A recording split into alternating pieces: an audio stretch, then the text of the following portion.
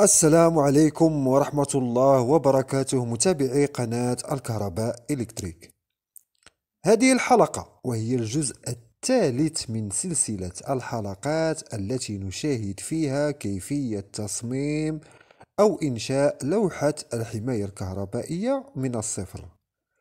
في الجزء الأول شاهدنا كيفية إنشاء وتصميم لوحة الحماية الكهربائية وانطلقنا من توزيع وتوصيل القواطع الفرعية الخاصة بالمقابس أو البريزات.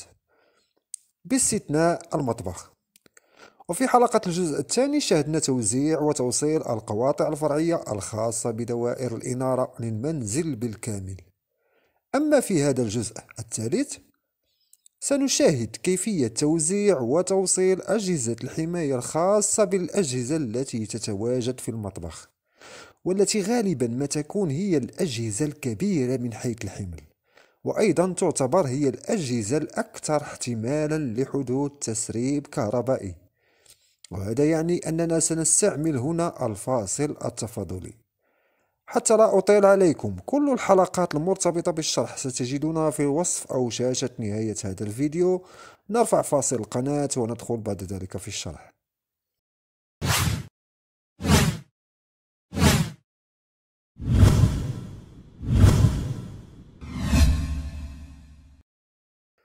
بسم الله الرحمن الرحيم. على بركة الله. إذا بقي لنا المطبخ.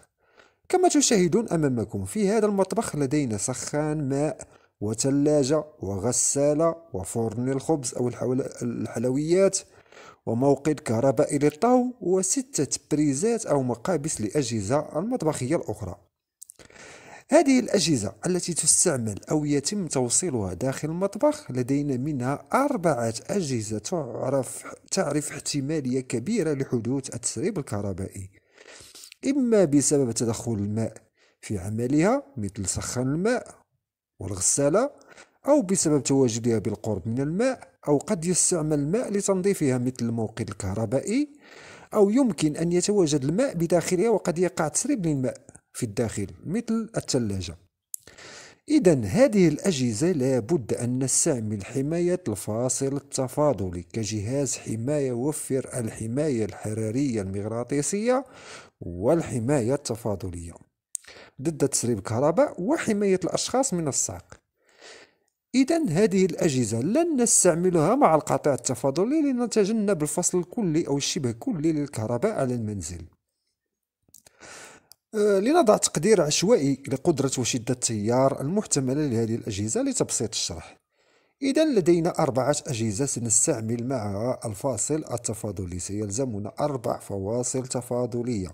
تتم تغذيتها من مخرج الفاصل الرئيسي مباشرة. الفاصل التفاضلي الأول هو لسخان الماء. لدينا سخان الماء 6000 واط ويعمل بتيار 26 أمبير. إذا سنستعمل فاصل تفاضلي بقيمة C ستة آه عفوا C اثنان وثلاثون لسخان الماء.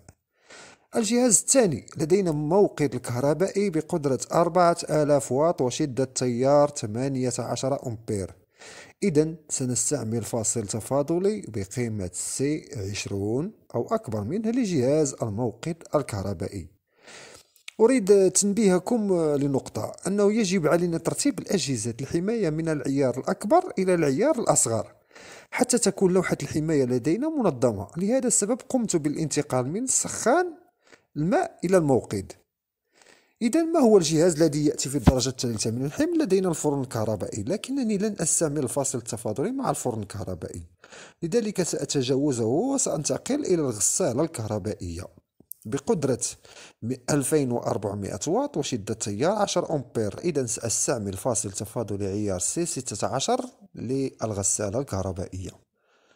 أخيرا لدينا الثلاجة لاحظوا جيدا قدرتها 445 واط بشدة تيار 2 أمبير.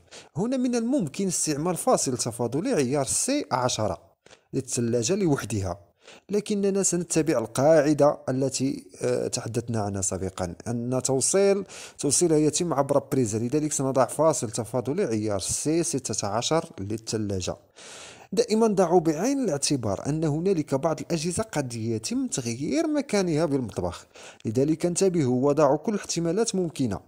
أما الأجهزة التي هي ثابتة في مكانها لا يوجد هنالك تحذير بخصوصها مثل موقد آه، مكانه ثابت وأيضا سخان الماء بسبب توصيلات قنوات المياه أيضا مكانه ثابت. وحتى الغسالة يكون مكانها ثابت بسبب صنبور الماء وأنابيب تصريف المياه الغسيل. إذا كما تلاحظون انتهينا من الفواصل التفاضلية. بقي لنا الفرن وستة بريزات. يعني في هذه الحالة نحن مضطرين إلى زيادة قاطع تفاضلي ثالث لتوصيل هذه الأجهزة وهذه التوصيلات. بالنسبة للمقابس لدينا ستة. سأقوم بتقسيمها إلى جزئين أي تفريق وتخفيف الأحمال حسب مبدأ انتقائية في الحماية الكهربائية.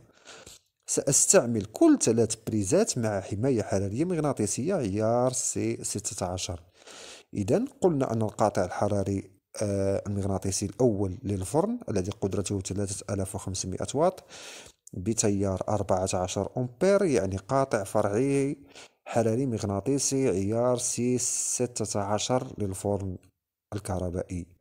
القاطع الفرعي الحراري المغناطيسي الثاني لثلاثة بريزات من عيار C 16 والقاطع الفرعي الثالث لثلاث بريزات من عيار C 16 وهكذا نكون قد انتهينا من توصيل مختلف أجهزة الحماية الكهربائية لهذا المنزل وفي هذا الجزء بالأخص للمطبخ. بقي لنا تحديد قيم القواطع التفاضلية الثلاثة وقيمة شدة التيار التي سنقوم بضبطها للفاصل الرئيسي. سنشاهد ذلك في الجزء الرابع وسأقوم بعمل جزء خامس إضافي لمناقشة بعض الملاحظات التي قمت بتجميعها حول هذه اللوحة. أو تنبيهات وسيكون هو الجزء الأخير من هذه السلسلة إن شاء الله. إلى هنا وصلنا إلى نهاية الحلقة. أشكركم على المشاهدة دمتم بخير وإلى اللقاء في حلقة مقبلة إن شاء الله.